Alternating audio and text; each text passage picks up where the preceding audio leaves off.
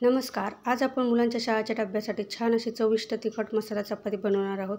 त्यासाठी सगळ्यात अगोदर एक वाटण करायचे त्यामध्ये म्हणजे चार ते पाच हिरव्या मिरच्या एक अद्रकचा तुकडा आठ ते दहा लसणाच्या पाकळ्या आणि एक चमचा जिरे टाकून घ्यायचे. मिक्सरच्या भांड्यामध्ये टाकून पाणी न घालता वाटून घ्यायचे.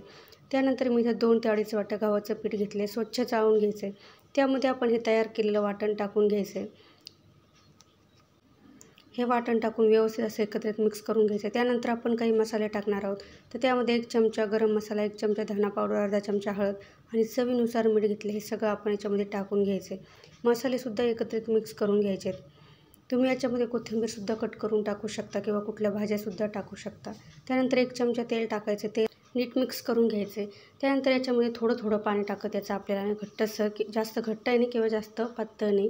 जसं आपण चपात्यासाठी पीठ मळतो तसं याचा एक गोळा तयार करून घ्यायचा आहे. थोडं थोडं पाणी टाकायचं आहे. बघू शकता अशा पद्धतीने मी जास्तही पातळ नाही किंवा जास्त घट्ट नाही अशा पद्धतीने याचा गोळा तयार तयार करून घेतला आहे. आता त्यामध्ये आपल्याला अर्धा चमचा तेल टाकून घ्यायचे आणि परत तेलामध्ये व्यवस्थित हे आपल्याला पीठ असं मळून घ्यायचं आहे. छोटा अर्धा चमचा तेल टाकून परत तेलामध्ये नीट असा तळ हातावर जोर देऊन आपले हे पीठ एकजीव करून घ्यायचे. म्हणजे मस्त आपल्या ह्या चपात्या मस्त मऊ लुसलुशीत अशा बनवून तयार होतात. तर इथं माझं पीठ तयार झालेले बघू शकता आता लगेच आपण चपात्या बनवायला सुरुवात करूया. तर चपात्या बनवण्यासाठी इथं ज्या चपातीच्या आकारामध्ये मी एक गोळा घेतला पिठाचा तर कोरड्या पिठामध्ये बुडून घ्यायचं छोट्याशा पुरीच्या आकारात लाटून घ्यायचं. जसं आपण चपातीला आतून तेल लावतो सेम तसं तेल लावून मुळपून घ्यायचे. परत कोरड्या पिठामध्ये बुडून घ्यायचे आणि आपल्याला याचं मस्त अशी चपाती बनवून घ्यायची. पातळसर मस्त लाटायचं कडेकडे लाटायचं म्हणजे आपोआप चपातीमध्ये पातळ होते. लाटताना मध्ये अजिबात नाही लाटायचे आपल्याला.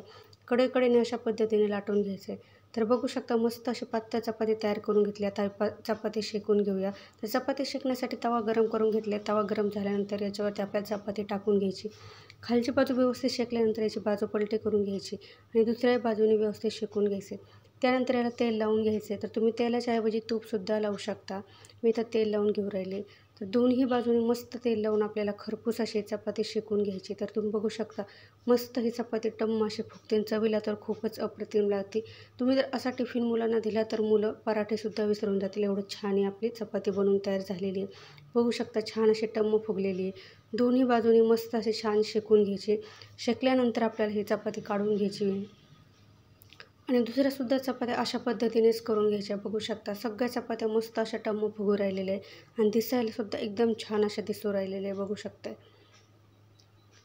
छान अशा मसाला चपात्या बनवून तयार झाल्या. अशा पद्धतीने आता बाकीच्या सगळ्या चपात्या तयार करून घ्यायच्या.